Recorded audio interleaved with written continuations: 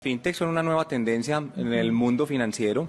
Particularmente estas iniciativas combinan la tecnología con los servicios financieros para ponerlos al servicio del ciudadano de manera cómoda, de manera ágil, de manera confiable, pero sobre todo eliminando las barreras tradicionales del acceso al servicio financiero.